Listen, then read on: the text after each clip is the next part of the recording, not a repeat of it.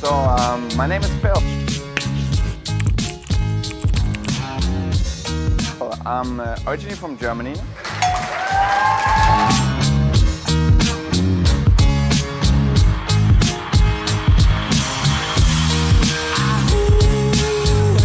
My Chalong Bay cocktail. Um, my favorite and I would say my most signature one is the cocktail that I call uh, we use all these ingredients, fresh lemongrass and uh, especially the lemongrass, the sweet basil and um, the coconut milk and put it together with Chalong Bay and just shake it, put it on the rocks and it's, it's pretty much a soup in a glass but it tastes absolutely fantastic.